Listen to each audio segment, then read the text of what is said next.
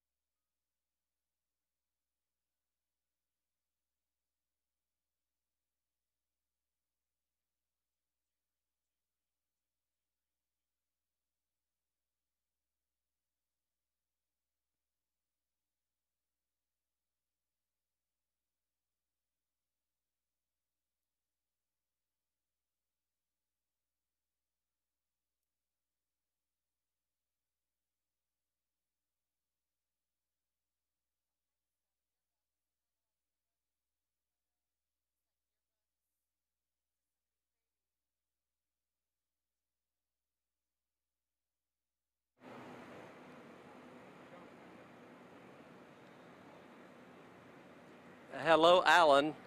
Uh, check, check, check. Just, just uh, for the record, I don't have a monitor here. Just to let you know about that. Just, just to, just to make sure you know that. Uh, I'm going to draw a reference probably to that Time magazine cover after uh, he's finished talking about it.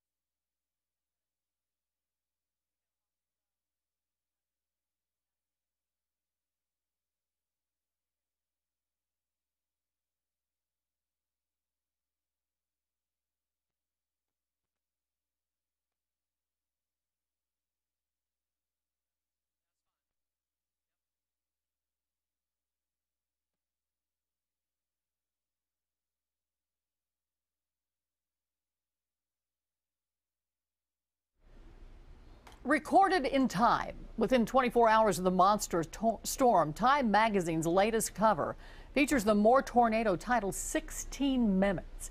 How much time you have to save your life. The story of the Oklahoma tornado. Joining me live by phone is a Time reporter, Zeke Miller, who's in Moore covering this tornado disaster. Zeke, you're looking at folks who are now homeless and the FEMA response. What are you seeing? Well, good afternoon. Thank you so much for having me on right now we're seeing a very organized response, and that's sort of what you know I've been hearing both from family members, from victims, from FEMA, from other non, uh, from other nonprofits, the Red Cross here. A very organized and coordinated response that almost seems to be you know you know a week ahead of its time in a way. Everybody knows what they have to do. Everybody sort of you know, the lines are moving very quickly, and things are coming together very fast. Um, you know, you know, this is a long process. It's going to take a long time for these families to heal, but certainly there's uh, at least the response is coming in the right way. And you're in the middle of this right now, and you've talked to FEMA folks and you've talked to families. What advice do you have for the families who are coming down there? Well, I'm at uh, First Baptist Church of Moore, where FEMA set up, where the, bunch of the home insurers are set up. And we've been seeing people coming in here all day. What the FEMA folks told me is that they said the first stop shouldn't be to FEMA. It should be to your insurer if you have one, because FEMA could only act after the insurer. They said you know, don't waste your time waiting online for them to send you back the other way. Start with your insurance company, then make your way to over to FEMA. They're they're sort of the insurer of last resort, and they're going to try to help as many people as they can, and they're here as you know as long as they can. Zeke Miller, we appreciate the focus that you're putting on Oklahoma. That uh, cover is absolutely compelling, and we'll look forward to your reporting and the rest of your staff who have been here in Oklahoma City. Thank you so much for joining us.